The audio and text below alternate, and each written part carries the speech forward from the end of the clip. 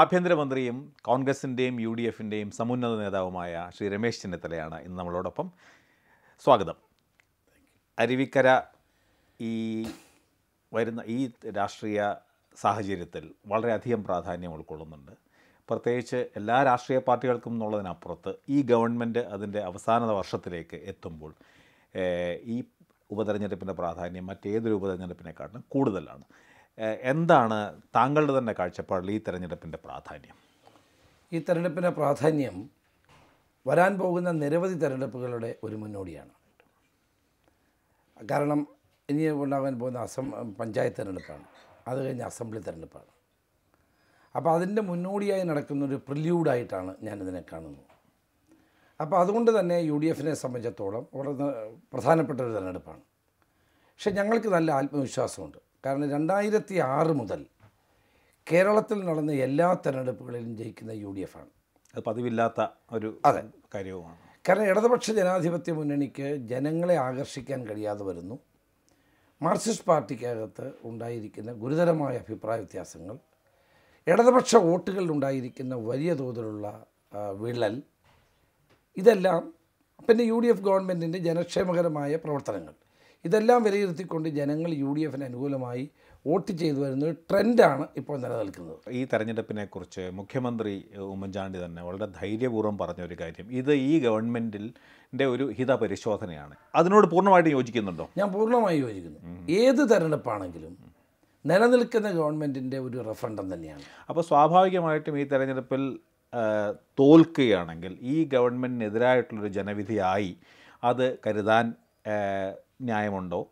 ഒന്ന് അങ്ങനെ ഉണ്ടെങ്കിൽ ഗവൺമെന്റ് രാജിപോലും വെക്കേണ്ട ഒരു ആവശ്യം വന്നാൽ എന്തായിരിക്കും നിലപാട്? അല്ല ഈ ഗവൺമെന്റിനെ സംബന്ധിച്ചിടത്തോളം ഞങ്ങൾക്ക് അങ്ങനെ ഒരു ഭയമില്ല. കാരണം ഞാൻ അതിന്റെ ബാക്ക്ഗ്രൗണ്ട് പറഞ്ഞല്ലോ. രണ്ടായിരത്തി ആറ് മുതലുള്ള എല്ലാ തിരഞ്ഞെടുപ്പുകളിലും ജയിച്ചിട്ടുള്ളത് യു ഡി എഫ് ആണ് അരുവിക്കര എന്ന് പറയുന്ന ഒരു യു ഡി എഫ് മണ്ഡലമാണ്. രണ്ടായിരത്തി ര- നാ- ഇരുപത്തിമൂന്ന് വർഷക്കാലം ഇരുപത് വർഷക്കാലം കാർത്തികേയൻ തിരഞ്ഞെടുക്കപ്പെട്ട ഒരു മണ്ഡലമാണ്.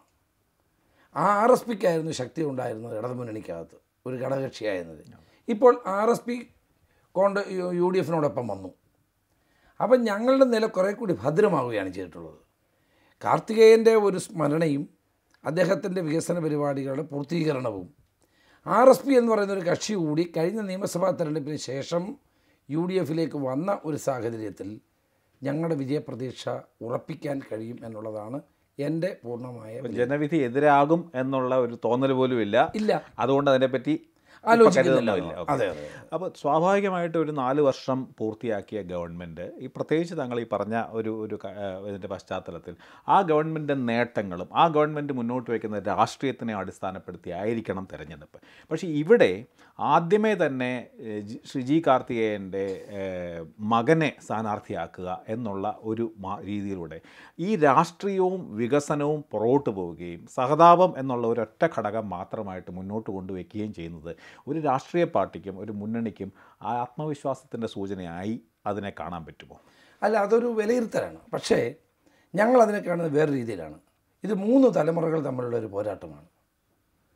എൺപത്തിയാറ് വയസ്സുള്ള സി ഒ രാജഗോപാലും ഒരു അൻപത്തിയെട്ട് അറുപതായിക്കൊണ്ടിരിക്കുന്ന വിജയകുമാറും മുപ്പത്തിയൊന്ന് വയസ്സുള്ള ശബരിനാഥനും തമ്മിലൊരു പോരാട്ടമായിട്ടാണ് ഞങ്ങളിതിനെ കാണുന്നത്. ആധുനിക കാലഘട്ടത്തിൽ പ്രത്യേകിച്ച് ഇന്ത്യൻ രാഷ്ട്രീയം വിലയിരുത്തുമ്പോൾ ചെറുപ്പക്കാർക്ക് ഒരു നിർണായകമായ പ്രാതിനിധ്യം നിയമസഭകളിലും അസംബ്ലിയിലും പാർലമെന്റിലും ഒക്കെ നൽകേണ്ടതാണ്. ഇരുപത്തിയാറാമത്തെ വയസ്സിൽ എം എൽ എ ആയ ഒരാളാണ് ഞാൻ. ഇരുപത്തി ഏഴാമത്തെ വയസ്സിൽ മന്ത്രിയായ ഒരാളാണ്. ഇരുപത്തെട്ടാമത്തെ വയസ്സിൽ. അത് ഞാൻ അത് ഞങ്ങളുടെ കാഴ്ചപ്പാടാണ് ഞാൻ പറയുന്നത്. കാർത്തികേയന്റെ മകൻ എന്നുള്ള നിലയിൽ തീർച്ചയായിട്ടും അദ്ദേഹത്തിന് ഒരു പ്രാധാന്യമുണ്ട്. അതോടൊപ്പം തന്നെ ഒരു നല്ല ബിരുദധാരിയായ ഒരു ചെറുപ്പക്കാരന്. പക്ഷെ സ്വാഭാവികമായി അപ്പോൾ നേരിടുന്ന ചോദ്യം പിന്നെ പാർട്ടിയുടെ തന്നെ ചെറുപ്പക്കാർ ഇഷ്ടംപോലെ യൂത്ത് കോൺഗ്രസിന്റെ കെ എസ് യുവിന്റെ താങ്കളെ പോലെയുള്ളവരാണെങ്കിൽ ഏറ്റവും താഴേക്കിടയിൽ നിന്ന് ഏറ്റവും പഠിച്ച സ്കൂളിലെ യൂണിറ്റിന് മുതൽ കൃത്യമായി പടിപടിയായി ഉയർന്ന് മുന്നോട്ട് വരികയും അങ്ങനെ സ്ഥാനങ്ങളിലേക്ക് വന്നു. അതിന് പകരം ഇങ്ങനെ ഒരു തീർച്ചയായിട്ടും ജി കാർത്തികേയൻ ആദരണീയനാണ് അദ്ദേഹത്തിന്റെ കുടുംബം ആദരണീയം. പക്ഷേ കെ എസ് യുക്കാർ മുന്നോട്ട് വെച്ച ഒരു പരാതി തന്നെ ഇത് രാഷ്ട്രീയത്തിലേക്ക് പ്രവേശിച്ചു വരുന്ന യുവാക്കൾക്ക് ഇതൊരു ഒരു ഒരു തെറ്റായ സന്ദേശമല്ലേ നൽകുന്നത്? നിങ്ങളെ കൊണ്ട് കാരണം കുടുംബ പാരമ്പര്യവും പശ്ചാത്തലവുമാണ് പ്രധാനം. കുടുംബ വാഴ്ചയാണ് മക്കൾ രാഷ്ട്രീയമാണ് എന്നുള്ളതെല്ലാം ഒന്നുകൂടി വിളിച്ച് പറയുന്നത് പോലെ അതുകൊണ്ടായിരിക്കുമല്ലോ വി. എസ്. ജോയ് അങ്ങനെ ധരിച്ചതും കെ. എസ്. യു അങ്ങനെ ഒരു നിലപാട് സ്വീകരിച്ചു അല്ല കോൺഗ്രസിനെ സംബന്ധിച്ചിടത്തോളം നമുക്ക് അങ്ങനെ ഒരു നിലപാടില്ല. ഞങ്ങളങ്ങനെ സ്ഥിരമായി അങ്ങനെ മക്കൾ രാഷ്ട്രീയത്തിലൂടെ ആളുകൾ വളരെ കുറവാണ് ഇതിനകത്ത് വരുന്നത്. പക്ഷേ ചില അനിവാര്യമായ സന്ദർഭങ്ങളിൽ അക്തർ ഞങ്ങൾ ചിന്തിച്ചിട്ടുമുണ്ട്. ഇവിടെ വന്നിരിക്കുന്നത് എന്താണ്? കാർത്തികേയന്റെ ഭാര്യയോടാണ് മത്സരിക്കണം എന്നുള്ളൊരു അഭിപ്രായം ഞാൻ തുറന്നു പറയാണ് അതെ. ഉണ്ടായത്. പക്ഷെ അവർക്ക് ആരോഗ്യപരമായ കാരണങ്ങളാലും മറ്റ് വികാരപരമായ കാരണങ്ങളാലും അവരത് നിഷേധിച്ച സന്ദർഭത്തിൽ സ്വാഭാവികമായി ഉയർന്നു വന്നൊരു പേരാണ് ശബരിനാഥന്റെ പേര്. അദ്ദേഹത്തിന് ഒരു ബാക്ക്ഗ്രൗണ്ട് ഉണ്ട് കെ എസ് യുവിനകത്ത് പ്രവർത്തിച്ച ഒരു ബാക്ക്ഗ്രൗണ്ട് ഉണ്ട് പക്ഷേ ഫുൾ ടൈം പ്രവർത്തകനല്ലായിരുന്നു. മറ്റൊരു ജോലിയിടത്ത് ജോലി ചെയ്തുകൊണ്ടിരിക്കുകയായിരുന്നു. പക്ഷെ ഞാൻ പറഞ്ഞതുപോലെ ഞങ്ങളുടെ ഒരു കാൽക്കുലേഷനിൽ പുതിയ വോട്ടർമാരെ സ്വാധീനിക്കാൻ അഭ്യസ്തവിധനായ ഒരു ചെറുപ്പക്കാരന്റെ സാന്നിധ്യം നന്നായിരിക്കുമെന്നുള്ളതാണ് ഞങ്ങളുടെ വിലയിരുത്തൽ. കെ എസ് യുവിന്റെ അഭിപ്രായത്തെ ഒന്നും ഞാൻ എതിർക്കുന്നില്ല. കോൺഗ്രസ് ഒരു ജനാധിപത്യ പാർട്ടിയാണ് അവർക്ക് പറയാനുള്ള അഭിപ്രായമുണ്ട്. പക്ഷേ പാർട്ടി ഒരു തീരുമാനമെടുത്താൽ എല്ലാവരും ഒറ്റക്കെട്ടായിട്ട് ഒരുമിച്ച് നിന്ന് പ്രവർത്തിക്കുകയും ചെയ്യും. താങ്കൾ പറഞ്ഞതിൽ നിന്ന് ഒരു അല്പം ഒരു വൈരുദ്ധ്യമുള്ളത് ചെറുപ്പക്കാരെ കൊണ്ടുവരിക എന്നുള്ളതായിരുന്നു പ്രധാന പരിഗണന എന്ന് പറയുമ്പോൾ. താങ്കൾ തന്നെ പറയുന്നു ഡോക്ടർ സുലേഹയെ കൊണ്ടുവരായിരുന്നു ആദ്യ ശ്രമം. അപ്പോൾ തീർച്ചയായിട്ടും സഹതാപം അല്ലെങ്കിൽ കാർത്തികേയന്റെ ഭാര്യ കുടുംബം അല്ലെങ്കിൽ മക്കൾ എന്നുള്ളതായിരുന്നു പ്രാഥമിക ഘടകം എന്നുള്ളതിനെ പറ്റി ഇപ്പോൾ സംശയമില്ലാത്ത രീതിയിൽ അങ്ങനെ പറഞ്ഞില്ല. തെരഞ്ഞെടുപ്പ് വരുമ്പോൾ പല സ്ഥാനാർത്ഥികളെ പറ്റി നമ്മൾ ആലോചിക്കും. പല ആളുകൾ ഇപ്പം സുലേഖയുടെ പേര് മാത്രമല്ല മറ്റു പലരുടെയും പേരുകൾ ഉയർന്നു വന്നിരുന്നു. ഞാൻ പറഞ്ഞത്. അപ്പോൾ അതിന് ഞങ്ങൾ പല തരത്തിൽ വിലയിരുത്തിയിട്ടുണ്ട്. ആ വിലയിരുത്തൽ വന്ന ഒരു പ്രധാനപ്പെട്ട ഘടകമാണ് യങ് ആയിട്ടുള്ള എന്റർപ്രൈസിങ് ആയിട്ടുള്ള ഒരു ചെറുപ്പക്കാരനെ നിർത്തുന്നതായിരിക്കും കുറേ കൂടി ഗുണകരം എന്നുള്ള വിലയിരുത്തലാണ് ഞങ്ങൾ. ഇപ്പോൾ എന്തുകൊണ്ടാണ് വിജയകുമാറിനെ നിർത്തിയത്? വിജയകുമാറിന് പകരം വേറെ മധുവിനെ പോലുള്ള എത്രയോ സ്ഥാനാർത്ഥികൾ അവിടെ ഉണ്ടായിരുന്നു. അപ്പോൾ സ്വാഭാവികമായും അതിനൊരു വിജയ സാധ്യത കൂടെ കണക്കിലെടുത്തുകൊണ്ടായിരിക്കാമല്ലോ. ജി കാർത്തികേയൻ തന്നെ മക്കൾ രാഷ്ട്രീയത്തിനെതിരായി നിന്ന ഒരാളാണ് എന്നുള്ളതിനെപ്പറ്റി നമുക്കൊക്കെ അറിയാം. അപ്പോൾ ജി കാർത്തികേയനും താങ്കളും അടക്കമുള്ള തിരുത്തൽവാദികളുടെ അന്നത്തെ ആ കാലത്തെ പ്രധാനപ്പെട്ട മുദ്രാവാക്യവും പ്രധാനപ്പെട്ട നിലപാടും ആശയപരമായിട്ടുള്ള നിലപാട് തന്നെ ശ്രീ കെ കരുണാകരൻ തന്റെ മകനെ അതിര് കടന്ന് മുന്നോട്ട് കൊണ്ടുവരാൻ ശ്രമിക്കുന്നു. നിങ്ങളെപ്പോലെ ജീവിതം മുഴുവൻ രാഷ്ട്രീയത്തിന് ഒഴിഞ്ഞു വെച്ചവർ പിന്നോക്കം പോകുന്നതിനൊക്കെ വഴിവെക്കുന്നു അങ്ങനെയാണ് അപ്പോൾ ജി കാർത്തികേയന് തന്നെ ഒരു പക്ഷേ ഇഷ്ടപ്പെടാതി ഇഷ്ടപ്പെടാൻ സാധ്യതയില്ലാത്തൊരു തീരം. അതുപോലെ തന്നെയാണ് ശ്രീ രമേശ് ചെന്നിത്തലയുടെ കാര്യവും. മക്കൾ രാഷ്ട്രീയത്തിനെതിരെ നിലപാട് സ്വീകരിച്ച് കേരള രാഷ്ട്രീയത്തിൽ ഒരു പുതിയ ആശയം മുന്നോട്ട് വെച്ച ആളെന്ന നിലയ്ക്ക് ഈ പ്രശ്നത്തിനെ എങ്ങനെ കാണുന്നു?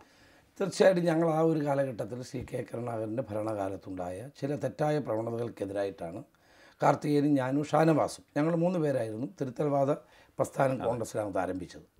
അത് വളരെ ശക്തമായി ജനങ്ങളുടെ മുമ്പിൽ അവതരിപ്പിക്കുകയും ചെയ്ത ആളുകളാണ്. ഒന്നും തെറ്റൊന്നുമല്ല ഞാനത് എപ്പോഴും തെറ്റാണെന്ന് വിശ്വസിക്കുന്ന ഒരാളല്ല. അന്ന് പാർട്ടിക്കകത്തും ഗവൺമെന്റിനകത്തും ഉണ്ടായ തെറ്റായ പല പ്രവണതകൾക്കുമെതിരായിട്ടുള്ള ശക്തമായ ഒരു യുവജന മുന്നേറ്റം തന്നെയായിരുന്നു അത്. പക്ഷേ അതും ഇതും തമ്മിൽ വളരെ വ്യത്യാസമുണ്ട്.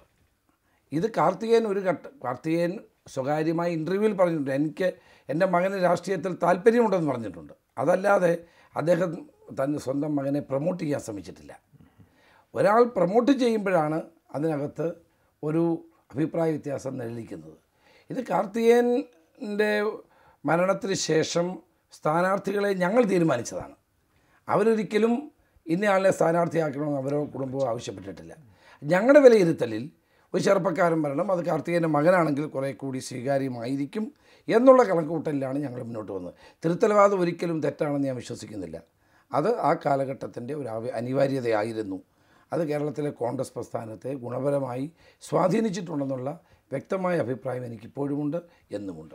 ഇപ്പോൾ ഈ തെരഞ്ഞെടുപ്പിൽ ഏറ്റവും പ്രധാനപ്പെട്ട ഒരു പ്രശ്നമായിട്ട് യു ഡി എഫിന് മുമ്പിൽ ഉന്നയിക്കപ്പെട്ടിരിക്കുന്നത് യു ഡി എഫിൻ ഭരണ സർ- സർക്കാരിനെതിരായിട്ടുള്ള അഴിമതി ആരോപണങ്ങളാണ്. ഒരുപക്ഷെ സമീപകാലത്ത് ഏറ്റവും കൂടുതൽ അഴിമതി ആരോപണങ്ങൾ നേരിടുന്ന ഒരു സർക്കാരാണത്. അതിൽ പ്രത്യേകിച്ചും മിക്കവാറുമുള്ള എല്ലാ പ്രധാനപ്പെട്ട അഴിമതികളുടെയും കേന്ദ്ര ബിന്ദുവായി മുഖ്യമന്ത്രിയും മുഖ്യമന്ത്രിയുടെ ഓഫീസും എത്തിച്ചേർന്ന ഒരവസ്ഥ കേരളത്തിൽ ഇതിനു മുമ്പ് ഉണ്ടായിട്ടേയില്ല. പല സർക്കാരിലും അഴിമതി ഉണ്ടെങ്കിലും ഇതൊരു വളരെ കൃത്യമായ ഒരു രീതിയിൽ ഒരു പാറ്റേൺ ഇവിടെയൊക്കെ കാണുന്നു എന്നുള്ളൊരു പ്രധാനപ്പെട്ട പ്രശ്നമാണ്. എന്തുകൊണ്ടാണ് ഇങ്ങനെ ഒരു വലിയ ഒരു പ്രശ്നം മുമ്പിൽ നിൽക്കുമ്പോൾ അഴിമതി ഒരു പ്രശ്നമേ അല്ലെന്നും ഇതൊരു ഒരു അതല്ല ഇവിടുത്തെ പ്രശ്നം എന്നുള്ള രീതിയിൽ പ്രചരണം നടത്താനും അല്ലെങ്കിൽ ഈ ഒരു പ്രശ്നത്തെ വേണ്ട പോലെ നേരിടുന്നതിലും യു ഡി എഫിന് എന്തുകൊണ്ടാണ് ഇപ്പോഴും അതിനൊരു ശക്തിയോ ധൈര്യമോ ഇല്ലാതെ പോകുന്നത്? അല്ല അഴിമതി ആരോപണങ്ങൾ വന്ന സന്ദർഭത്തിലൊന്നും യു ഡി എഫ് പകച്ചു നിന്നിട്ടില്ല. ആരോപണങ്ങൾ ആർക്ക് വേണേലും ഉന്നയിക്കാം. പക്ഷെ ആരോപണങ്ങൾ സത്യസന്ധമായി തെളിയിക്കപ്പെടണം. വെറും ആരോപണമാണോ ഇത്? അങ്ങനെ പറയാമോ? അല്ല മുഖ്യമന്ത്രിയുടെ ഓഫീസിനകത്ത് ഉണ്ടായ സംഭവവികാസങ്ങൾ ഉൾപ്പെട്ട ആളുകളെ അദ്ദേഹം തന്നെ പുറത്താക്കി. നമ്മൾ ഗുഡ് ഫെയ്ത്തിൽ ആളുകളെ ഒരുപക്ഷെ നമ്മുടെ സ്റ്റാഫായി നിയോ- ഒരാളല്ല. ഞാൻ പറയട്ടെ. ഞാൻ പറയട്ടെ. അപ്പോൾ അങ്ങനെയുള്ള ഇപ്പോൾ ജോപ്പന്റെ കാര്യമാണെങ്കിലും സലിം രാജിന്റെ കാര്യമാണെങ്കിലും അവരുടെ എല്ലാ പേരും നടപടി എടുത്തിട്ടുണ്ട്. അതിനുശേഷമാണ് ഞാൻ മന്ത്രി ആഭ്യന്തരമന്ത്രിയായി വന്നപ്പോൾ ഞാൻ പേഴ്സണൽ സ്റ്റാഫിൽ വെക്കുന്നവരെ പാർട്ടിക്കാർ പറയും പലരും പറയും. നമ്മളതൊരു വിജയ ഒരു ഇന്റലിജൻസിന്റെ റിപ്പോർട്ടുകൂടെ എടുത്ത ശേഷം നമ്മൾ വെക്കുന്നതാണ്. ഒരു തിരുത്തൽ നടത്തി. തിരുത്തൽ നടത്തി. കാരണം അവരുടെ ആന്റിസിഡൻസ് എന്താണ്? ഇവരെങ്ങനെയുള്ളവരാണ് ഇവരുടെ പേരിലുള്ള കേസുകളുണ്ടോ? ഇതെല്ലാം പരിശോധിച്ചിട്ട് മാത്രമേ സത്യം പറഞ്ഞാൽ പേഴ്സണൽ സ്റ്റാഫുകളെ നിയോഗിക്കാൻ പാടുള്ളൂ. അതിൽ വന്നൊരു വീഴ്ച അതിനകത്തുണ്ട് അതുകൊണ്ടാണല്ലോ അവരുടെ പേരിൽ നടപടിയെടുക്കാൻ മുഖ്യമന്ത്രി തന്നെ മുന്നോട്ട് വന്നത്. അപ്പോൾ അഴിമതി ആരോപണങ്ങളല്ല അഴിമതി സാധൂകരിക്കപ്പെട്ടാൽ നടപടി എടുക്കുന്നതും ജനാധിപത്യത്തിന്റെ ഒരു ഉന്നതമായ ഒരു മാനദണ്ഡം തന്നെയാണ്.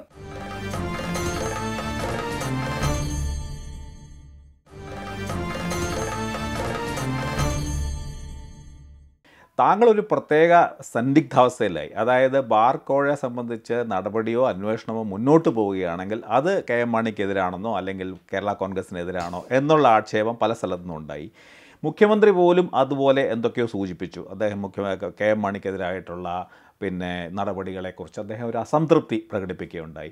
അതേസമയത്ത് നടപടി എടുത്തില്ലെങ്കിൽ അത് ഗവൺമെന്റ് വിജിലൻസിനെയും ആഭ്യന്തരമന്ത്രിയുടെയും ഒരു ഒരു അതിരി കടന്ന ഒരു ഒരു സ്വന്തം പാർട്ടിക്ക് അനുകൂലമായിട്ട് അല്ലെങ്കിൽ മുന്നണിക്ക് അനുകൂലമായിട്ട് ഇങ്ങനെ ഒരു സന്ദിഗ്ധാവസ്ഥ ഉണ്ടായിരുന്നോ ഇടയ്ക്ക്? തീർച്ചയായിട്ടും ഒരു സന്നിഗ്ധാവസ്ഥയുണ്ട് ധാരാളം കല്ലേറുകൾ എനിക്ക് ലഭിച്ചിട്ടുമുണ്ട് പിന്നെ ഞാനിരിക്കുന്ന അല്ലെങ്കിൽ ഞാൻ കൈകാര്യം ചെയ്യുന്ന വകുപ്പ് ആഭ്യന്തരമായതുകൊണ്ട് ഇതിന് കല്ലേറ് കിട്ടാതെ മുന്നോട്ട് പോകാൻ കഴിയില്ല.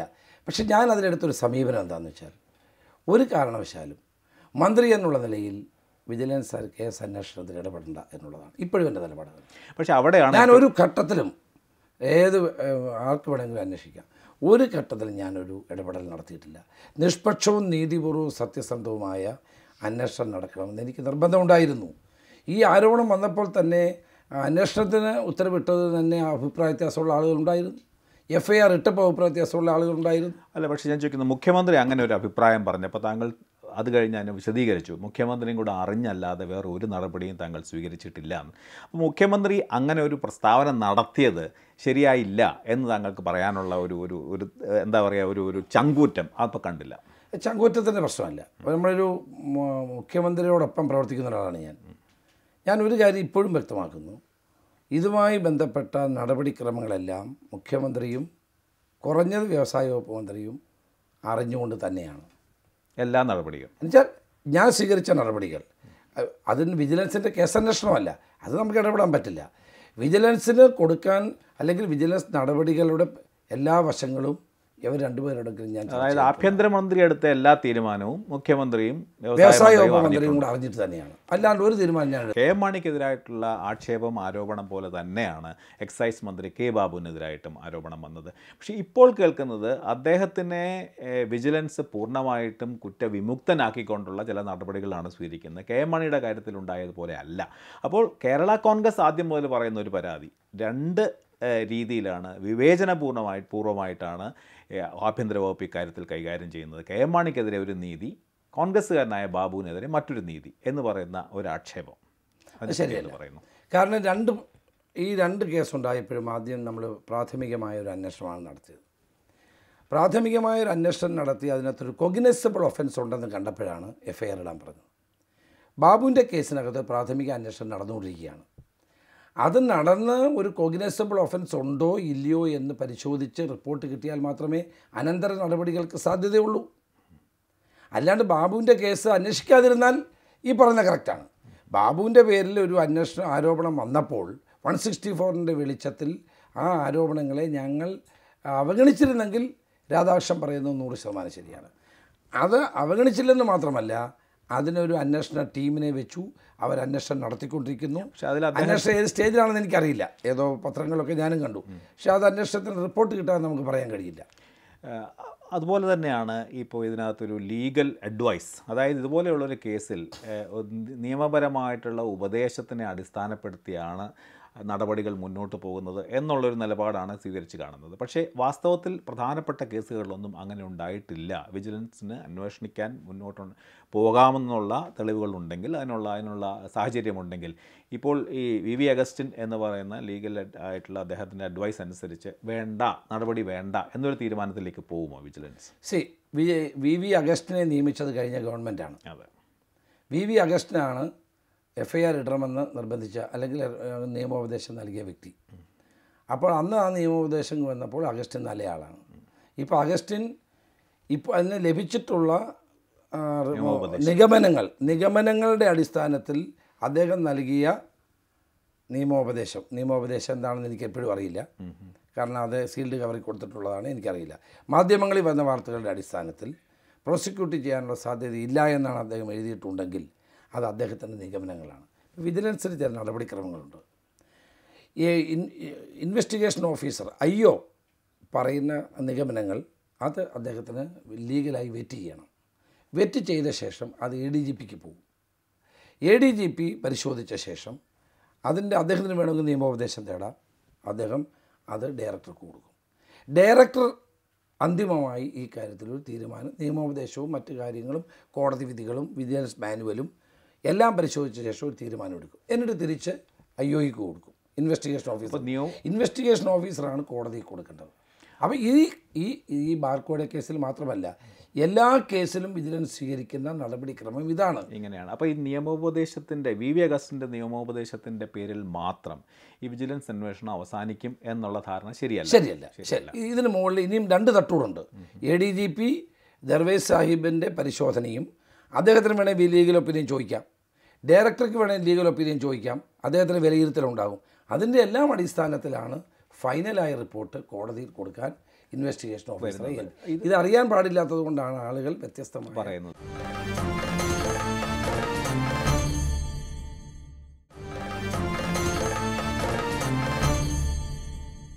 താങ്കൾ ഇതിനു മുമ്പ് ഇപ്പോൾ വിജിലൻസിന്റെ തലവനായിരുന്ന ജേക്കബ് തോമസിന്റെ കാര്യത്തിൽ അദ്ദേഹം അദ്ദേഹത്തിനെ പെട്ടെന്ന് ഈ ഫയർ ഇതിന്റെ പിന്നെ ഫോഴ്സിന്റെ തലവനായിട്ടും മറ്റും കമാൻഡന്റായിട്ടും മറ്റും ട്രാൻസ്ഫർ ചെയ്ത് വാസ്തവത്തിൽ ഇതിന്റെ വിശ്വാസ്യത ഇത് ആദ്യം മുതൽ ഇദ്ദേഹത്തെ മാറ്റും മാറ്റുമെന്ന് പറയും. അദ്ദേഹം ലീവ് എടുത്ത് പോയപ്പോൾ താങ്കൾ കൃത്യമായി പറഞ്ഞു അത് ഇതുമായിട്ട് ബന്ധപ്പെട്ടല്ല ലീവ് എടുത്തത്. പക്ഷേ ഇപ്പോൾ അദ്ദേഹം പറയുന്നു ഈ ട്രാൻസ്ഫറിനെ പറ്റി അദ്ദേഹം മുഴുവനോട് പറഞ്ഞില്ലെങ്കിലും ഏതാണ്ട് അങ്ങനെയൊക്കെയാണ് അദ്ദേഹം ലീവ് എടുത്ത് പോകേണ്ടി വന്നതും അദ്ദേഹത്തിന്റെ മേൽ സമ്മർദ്ദമുണ്ടായി എന്നൊക്കെ പറയുമ്പോൾ വാസ്തവത്തിൽ വിജിലൻസിന്റെയും ആഭ്യന്തര വകുപ്പിന്റെയും ഉദ്ദേശശുദ്ധിക്കും ആത്മാർത്ഥതയ്ക്കും കരുനിഴൽ വീണില്ല എന്നുള്ളത് ശരിയല്ലേ? അത് സത്യത്തിൽ ആദ്യം മുതൽ ഈ കേസ് മാധ്യമങ്ങൾ ശരിയായ നിലയിൽ കാണാത്തതുകൊണ്ടാണ്. കാരണം വിജിലൻസിൽ രണ്ട് എ ഡി ജി പി ഇന്ന് ഞാൻ അസംബ്ലിയിലും അത് വിശദീകരിച്ചു. രണ്ട് എ ഡി ജി പിമാരാണ് ഒരു ഡയറക്ടറുമാണുള്ളത്. തിരുവനന്തപുരം മുതൽ എറണാകുളം വരെ ഒരു A D G P Ernakulam മുതൽ കാസർഗോഡ് വരെ വേറൊരു A D G P Jacob തോമസിന് ഒരു ഘട്ടത്തിലും കെ എം മാണി സാറിന്റെ കേസുമായ അന്വേഷണത്തിന് ചുമതലയില്ലായിരുന്നു. ഒരു ഘട്ടത്തിലും. ഒരു ഘട്ടത്തിലും ഇല്ലായിരുന്നു. ഒരു ഘട്ടത്തിലും അദ്ദേഹത്തിന് ചുമതലയില്ലായിരുന്നു. അദ്ദേഹത്തോട് ഈ കാര്യങ്ങൾ അന്വേഷണത്തിനുള്ള യാതൊരു ഉത്തരവാദിത്വവും അദ്ദേഹത്തിനില്ലായിരുന്നു. പക്ഷേ അദ്ദേഹത്തിന് മറ്റ് ബാബുവായ അന്വേഷണത്തിന് അതുണ്ട് അതുണ്ട്. പക്ഷേ ആളുകൾ തെറ്റിദ്ധരിക്കുകയാണ്. പക്ഷെ അദ്ദേഹം ഇപ്പോൾ പറഞ്ഞതിനെ അതെനിക്കറിയില്ല. അദ്ദേഹം എന്താ പറഞ്ഞതെന്നുള്ളത് ഇനി പരിശോധിക്കണം. അദ്ദേഹം പറഞ്ഞ സമ്മർദ്ദങ്ങൾ ഉണ്ടായിരുന്നു. ഏത് കാര്യത്തിൽ സമ്മർദ്ദം ഉണ്ടായിരുന്നു? കാരണം അദ്ദേഹത്തിന് ചുമതലയുള്ള കേസ് അല്ലല്ലോ മാണി സാറിന്റെ കേസിൽ അദ്ദേഹത്തിന് ചുമതലയില്ല. അദ്ദേഹത്തിന് യാതൊരു ഉത്തരവാദിത്വവും ഇല്ല. ബാബുവിന്റെ കേസിലായാലോ? ബാബുവിന്റെ കേസിൽ എന്താ ഉള്ളതെന്ന് അദ്ദേഹം പറയട്ടെ. എന്ത് സമ്മർദ്ദം ഉണ്ടായെന്ന് പറയട്ടെ. ബാബുവിന്റെ കേസിൽ ഇത് പറഞ്ഞതിന് ശേഷം താങ്കൾ അദ്ദേഹത്തിനോട് ചോദിച്ചില്ല ഞാൻ ചോദിച്ചിട്ടില്ല ചോദിച്ചിട്ടില്ല. വരട്ടെ. അല്ല ഇതിനു മുമ്പ് ഞാൻ പറയുന്നത് ഈ അല്ല ഞാനത് പൂർത്തീകരിച്ചോട്ടെ. കാരണം ജേക്കബ് തോമസിന്റെ ഒരു ഘട്ടത്തിലും മാണിസാറിന്റെ കാര്യത്തിൽ ഒരു മാണിസാറിന്റെ കേസിനകത്ത് അന്വേഷണ ചുമതല ഇല്ലായിരുന്നു. ബാബുവിന്റെ കേസ് അന്വേഷണം തുടങ്ങിയ സന്ദർഭത്തിലാണ് അദ്ദേഹം രണ്ട് ദിവസം കാഷ്വൽ ലീവ് എടുത്ത് പോയത്. രണ്ട് ദിവസം കാഷ്വൽ ലീവ് എടുക്കുന്നതും അനന്തമായ ലീവ് എടുക്കുന്നതും ഒക്കെ തമ്മിൽ വലിയ വ്യത്യാസമുണ്ട്. അറിയാമല്ലോ? അതായിരുന്നു അദ്ദേഹം പറഞ്ഞതിന് ശേഷം അദ്ദേഹം അദ്ദേഹം- പറഞ്ഞ പറഞ്ഞത് മുഴുവൻ വായിച്ചു നോക്കിയാൽ സമ്മർദ്ദങ്ങൾ ഉണ്ടായിട്ടും വിജിലൻസ് നല്ല നിലയിൽ പോയിട്ടാണ് പറഞ്ഞത്. ആരുടെ സമ്മർദ്ദം ഉണ്ടായിരുന്നു അദ്ദേഹം വിശദീകരിക്കട്ടെ?